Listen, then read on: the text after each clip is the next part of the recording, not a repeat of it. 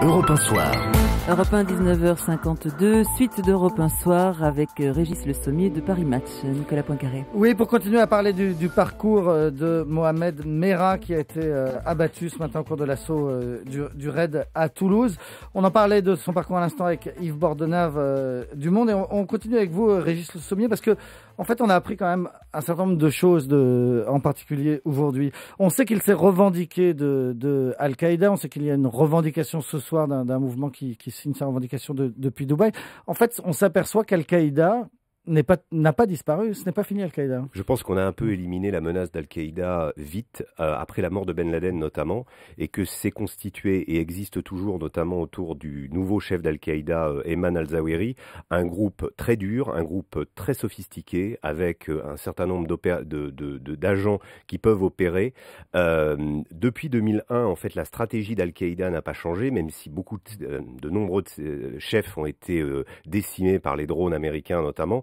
La stratégie n'a pas changé. C'est une stratégie qui avait été mise en place par le, cerveau du 11 septembre, Khalil Sheikh Mohamed, qui avait dit il faut faire des émirats de guerre, il faut faire des groupes autonomes un peu partout dans le monde de façon à combattre le djihad planétaire. Et indépendants les uns des autres. Absolument. Et là, dans ce cadre-là, on s'aperçoit euh, avec le pédigré de quand même il faut regarder la reddition euh, pas, la reddition le, la mort euh, de, Mohamed Nera ce matin c'est 300 cartouches échangées il, attaque le, le, le, raid avance vers lui, il attaque. Donc c'est quelqu'un qui est formé, qui a reçu une formation militaire bien plus importante qu'on, qu à mon avis, on a pu l'imaginer. Et cette formation militaire, il l'a pas reçue dans l'armée française puisqu'il a été, il en a été écarté. Il l'a reçue là-bas. Il faut pas oublier qu'en août dernier, il était encore au Pakistan. Donc c'est, à mon avis, quelqu'un qui est un opératif d'Al-Qaïda, qui est quelqu'un qui a bien intégré le djihad global, qui a bien intégré tous les systèmes de peur. Il s'est, filmé. Je pense qu'il avait largement l'intention de, de, de diffuser ça sur Internet.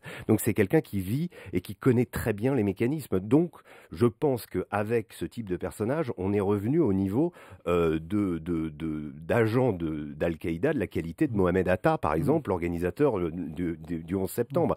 On a dit trop souvent que Al-Qaïda était, était tellement affaibli, n'était plus capable de conduire des opérations. Eh bien, on s'aperçoit aujourd'hui sur le sol français que quelqu'un comme, comme Mohamed Nera euh, évoluait en toute liberté euh, dans la région de Toulouse. On peut se demander, on peut se dire, c'est quand même assez hallucinant qu'un type de ce calibre, qu'un type qui est capable de, de, de faire les opérations, les horreurs qu'il a fait depuis le début de la semaine, et qui est capable aussi de, de, mourir dans ces conditions euh, mm. était en liberté sur le territoire français. Donc la stratégie de base depuis 15 ans maintenant d'Al-Qaïda, c'est en fait d'ouvrir des succursales partout où chacun peut se dire... Des groupes franchisés. Franchisés d'Al-Qaïda. Et donc il suffit euh, d'un type et son frère et peut-être quelques aides pour, pour euh, pouvoir remettre en place une filière et commettre des attentats. Absolument. Et je rappellerai cette, cette, anecdote qui est un peu passée inaperçue en France, c'est que le, le 30 décembre 2009, euh, une partie, cinq agents de la CIA au Pakistan ont été tué par un, un, kamikaze qu'il pensait qu'il en fait était un agent double. Il pensait que